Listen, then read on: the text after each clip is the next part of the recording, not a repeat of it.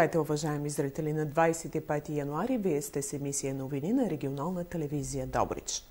С 34 гласа за и 3 против беше отхвърлен докладът за екологична оценка на инвестиционното намерение за добив на газ в Добруджа. Днес той беше разгледан от експертен съвет на регионалната инспекция по околната среда и водите.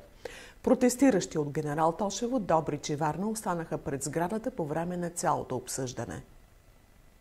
Експертният екологичен съвет към Риос Варна не одобри разработването на находище Спасово за проучване и добив на природен газ. На проведеното днес заседание беше разгледано инвестиционното предложение разработване и освояване на находище Спасово с площ 219 квадратни километра в блок Добрич за проучване и добив на природен газ на територията на област Добрич с възложител Русгеоком БГ, включващо 4 участъка – Рогозина, Чернооково, Калина и Рогозина Изток. В съвета участваха представители на регионална здравна инспекция Добрич, басейн басейнова дирекция Черноморски район Варна, областна дирекция Земеделие Добрич, община Генерал Тошево и кметствата в общината, на Геологически институт Камбан, Минно-геоложки университет Свети Иван Рилски, Българска минно-геоложка камера, ВИК Добрич, Сдружение за дива природа Балкани и Обществен център за околна среда и устойчиво развитие Варна. Възоснова на протокола от заседанието в срок до 7 дни, директора на Риос Варна ще издаде решение по оценка на въздействието върху околната среда на инвестиционното предложение. Днешният ден е важен за всички доброджанци, за всички българи, защото дадохме пример какво означава да бъдем отговорни към децата, към природата, към бъдещето на региона – Показахме на практика, че силата ни е в обединението, заяви в обращение кметът на община генерал Тошево Валентин Димитров. От администрацията на президента на Република България в Общинския съвет на Добрич е поступила преписка за упрощаване на данъчни задължения осигуровки от дейността на ВИК Добрич. Преписката е образувана по искане на директора на водното дружество. Председателят на комисията по опрощаванията изпраща преписката до Общински съвет град Добрич с указания за процедурата по нея. Публичните задължения са в общо в размер говоря на ВИК-то, 9 милиона 294 хиляди 699 лева, от които главницата, както е записано тук, в нашата докладна, 5 милиона 831 хиляди лева. По-голямата част от които са, конкретно 5 милиона 86 хиляди лева, идват именно от басейновите дирекции. Изискана е позицията на Националната агенция по приходите Варна, с която не се изразява становище за упрощаване на публичните задължения. Становища са представени от самите взискатели. Според басейнова дирекция Варна е необходимо да бъдат събрани дължимите такси. Басейновата дирекция в Плевен изразява отрицателно становище и заявява, че би следвало да се открие производство по несъстоятелност на дружеството. От Комисията за енергийно и водно регулиране съобщава, че задълженията към тях са предадени за принудително събиране. Отрицателна е позицията на Агенция за държавна финансова инспекция и регионалната инспекция по опазване на околната среда и водите. По закон администрацията на президента връща обратно към нас, като Общински съвет, за изразяване на съответното становище. Не вярвам някой от колегите да е против опрощаването на държавни вземания, предвид отчаяващо състояние на ВИК дружеството, но все пак решенията на Общински съвет, това е колективен орган, съответно решенията са колективни. При съвместна акция на горските стражари и служителите на МВР в Добричко са съставени 30 акта и 15 констативни протокола за притежаване на незаконно добити дърва за огрев.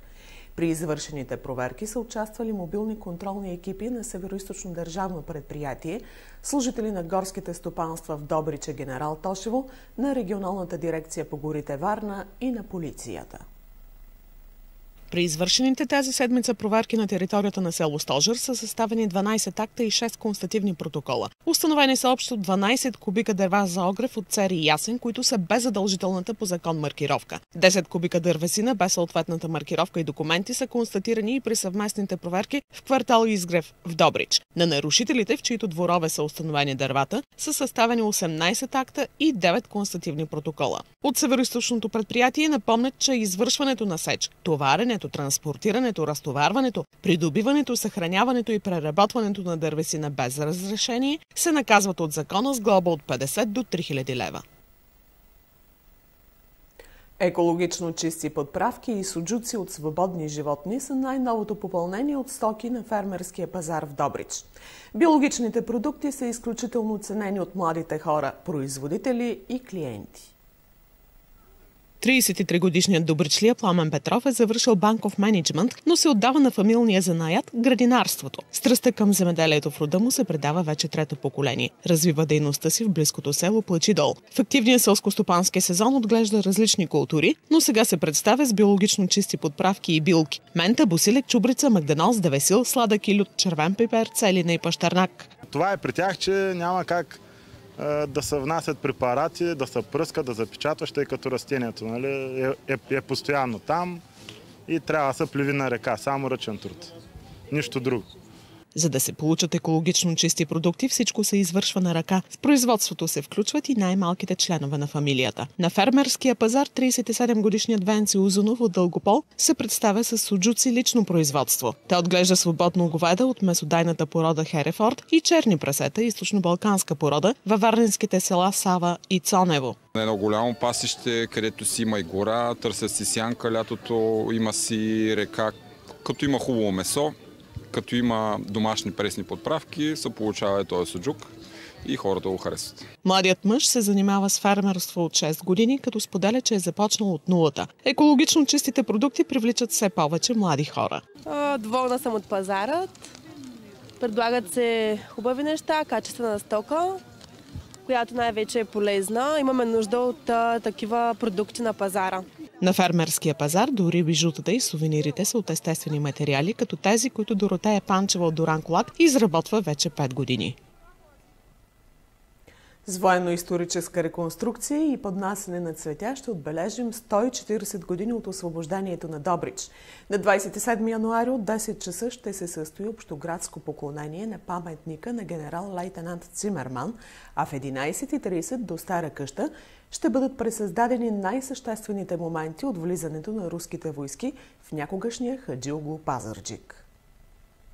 Монументът на победата, известен още като паметник на руската армия освободителка или на генерал Цимерман, е издигнат през 1879 година. Надписът на монумента съобщава, че е изграден по време на управлението на император Александър II в памет на войните, загинали за освобождението на града. Той съдържа имената на командващия долнодоновския отряд, генерал-лейтенант Аполон Цимерман и на руските части участвали в боевете за Добрич, 8 пехотни, 2 конни полка и 4 казашки ескадрона. Военно-историческата реконструкция ще бъде осъществена от Национално дружество Традиция, регионален клуб 46 пехотен Добрички полк. В нея ще участват още 7 клубове от страната. Те ще пресъздадат най най-вълнуващите моменти от посрещането на руските войски в Добрич. Военната колона, начало с командващия генерал, ще бъде посрещната от мирното население пред храма Свети Георги. След това участниците във възстановката ще се отправят към площад Свобода, където е предвидено да се проведе военен ритуал. Над 60 реконструктори ще преминат в строй по булевард 25 септември. Ще бъдат представени различни видове и родове войски. Това бяха новините на телевизия Добрич за днес, уважаеми зрители. Останете с нашата програма. Следва прогнозата за времето. От мен приятна и спокойна вечер.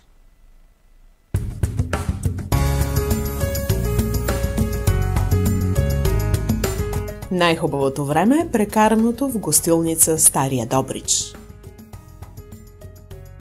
Утре времето ще бъде предимно ясно и слънчево с времени увеличение на облачността преди обяд. На места ще е мъгливо или с ниска слоеста облачност. Ще е почти тихо с слаб вятър от северо-исток изток. Максимални температури 3, минимални минус 5 градуса.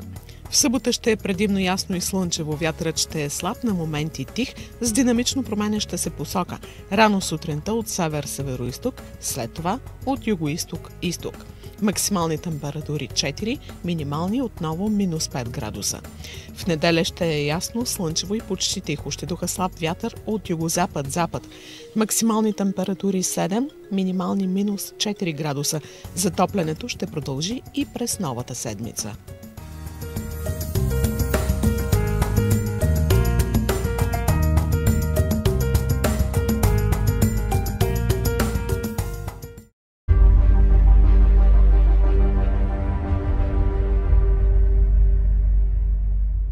Те са Авигея, печени солени и супер ускосени. Слънчогледови семки Авигея от сърцето на Добруджа. Авигея в Добрич. Всички питат за нея. Партньор Дилянка 61.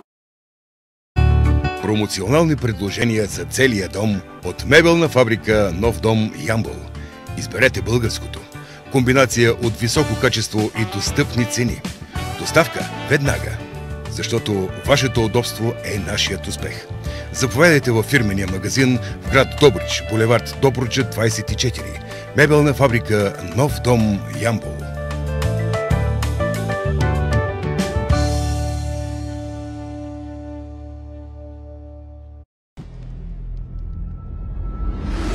Енергия за вашия дом.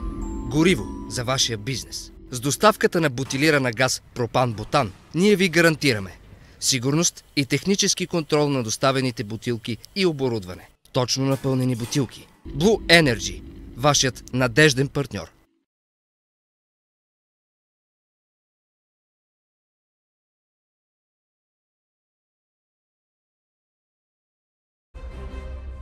Най-голямата фирма за техническа и физическа охрана в Североизточна България, ФСБ СОД, предлага сигнално-охранителна дейност, денонощен мониторинг на видеонаблюдение в реално време и след сигнали от СОД, бърза реакция с мобилни екипи, монтаж и поддръжка на сигнално-охранителни и пожароизвестителни системи и видеонаблюдение, инкасова дейност и персонална охрана – само сега, до 31 декември, безплатен монтаж на системи с два датчика. Доверие се гради с доказан опит и качество. ФСБ. Достъпна сигурност с единствената добричка фирма за охрана.